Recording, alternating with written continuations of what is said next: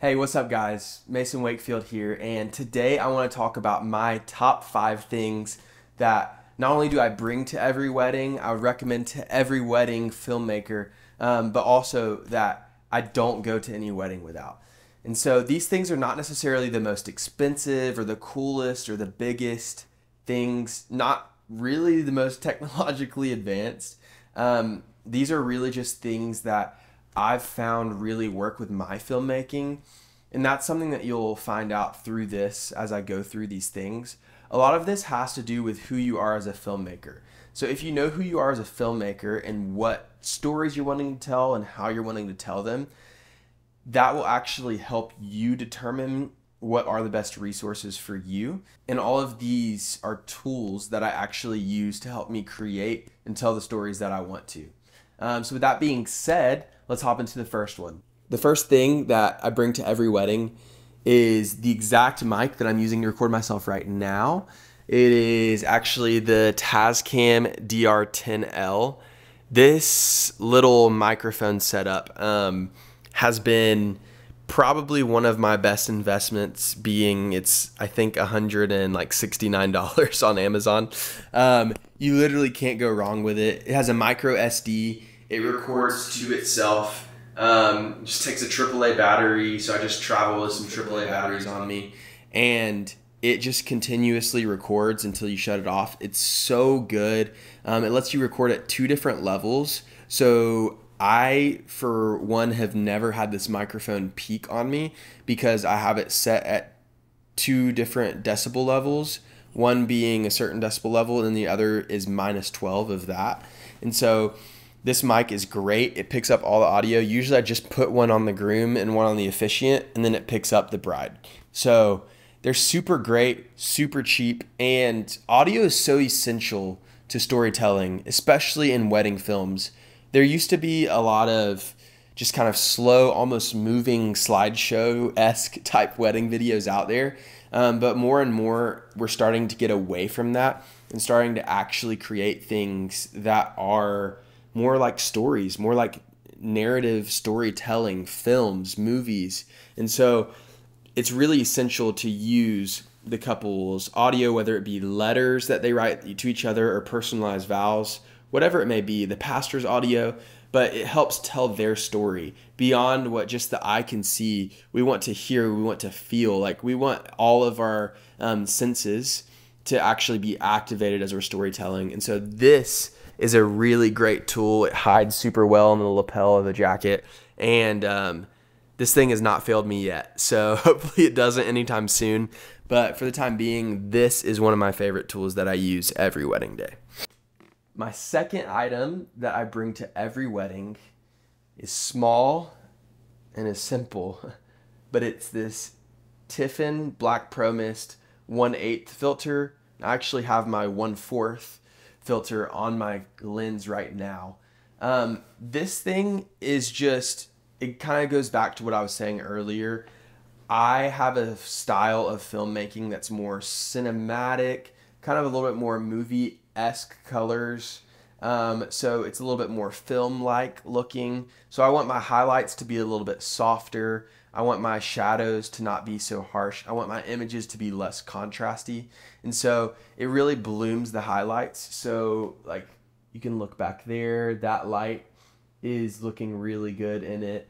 And then you have like this light and it makes the highlights a little bit bloomier. I have a bright light on my face, but what it's actually doing is it's making this harsh light of my face come off a little bit softer to the camera.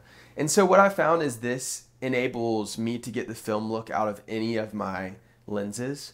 And so like right now I have a newer newer lens on my camera, but I have this filter on top of it and what this filter does is it almost makes this lens have a vintagey look. Um, and so this lens is great. It just gives you more of that film-like look, which I feel like a lot of people are chasing after these days. The third thing on my list is lighting. And so lighting comes in all sizes and packages. So the first thing I'll show you guys is this big boy. I use this light at every wedding. I put it in the corner of the reception. If there's rehearsal dinner, I light the speeches with it. Um, this is the Aputure 60X. This thing is a beast. Like it lights up the whole dance floor. You don't have to worry about any lighting um, outside of you.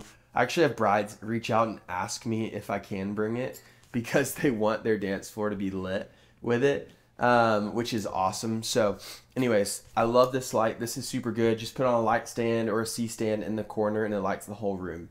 Um, a lot of times, as wedding filmmakers, we have to be flexible. And so, I, what if, you know, we're in the middle of a field and the generator isn't working or the band doesn't have enough outlets? Well, that brings us to our next light. And this light is uh, very small but very mighty. This is the Aputure. I'm not sure what it's called to be honest with you, but if you just go to Aputure's website, you could find this anywhere. Um, it's really bright, and as you can see, you can kind of see that halation bloom that this uh, lens filter is giving us right now. Actually, so that's that's kind of what it does. Um, but this is super great for um, any reception if you can't get lights to work. That's that's one of the ways that I use this light. Um, the other way that I use this light is on exits. So a lot of times people don't choose sparklers, which help you with light, but they actually choose like rose petals or I've had bubble exits. I had a water balloon exit recently. So you don't have lighting and one thing that's really hard with not having um, any light is usually they're leaving at night. and so if you don't have a light, well, then you can't record the exit very well. And so that's what this light's really good for. It just has a cold shoe mount on it. So I just put this on my camera, just screw it on just like that. And then it's on there. The one drawback I will say to this, and the reason that I like these other lights that I use, is it is a little bit obvious when you're recording someone. It almost feels like paparazzi. So they're like on the dance floor and you're like wanting to get them having fun. And then they're kind of like, oh, like who's recording me? Like, I don't, you know, they kind of get awkward. And so that's kind of why I like these bigger lights is because they light the dance floor from the corner. And so I can kind of sneak around and get that. And then the last light that I have up here that's actually lighting me right now is the Amaran 60X. It's by Aputure. This light is phenomenal, guys. Honestly, this light's a little bit more expensive. I don't know if I'd recommend it over that. That light is incredible. Um, I'm using it to light me right now because it just gives me like the best even lighting here. Um, and it comes with a lot of stuff. It has a Bowens mount, which is great. Um, not all lights have that.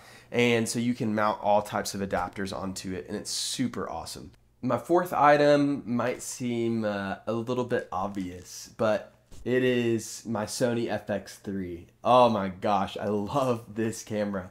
I've been shooting with this camera for about two years, and to be honest, I was a Canon guy at first. Um, just started in Canon. I had a friend that had a Canon, and so I wanted to shoot the same thing as him so we could shoot together. And geez, I finally made the switch over, got rid of all my lenses, got this camera, and this thing is crazy. As a wedding videographer, you should not be able to do the things that you can do with this. It has dual native ISO, which I could hop into that more later on another video. Leave a comment down below if you want me to hop into what that actually means. Um, but dual native ISO basically means that at 640 ISO and at 12,800 ISO, this camera looks the exact same. So it's clean, no pixels, no grain at 12,800 ISO, which if you don't know what that means, that's crazy bright. Um, so if a room is dark, I can almost just use like Moonlight. it's pretty crazy. Um, actually, they just shot a movie on this camera, The Creator. It's a new movie that just came out, and I just saw that the other day, which is pretty phenomenal that they shot a movie on this camera. The color science behind it is beautiful. Honestly, I've had zero complaints. That's the reason I still shoot on it. Um, and honestly, I'm still looking to get another one soon. So it's pretty awesome. And um, a great pairing with it is actually our next item,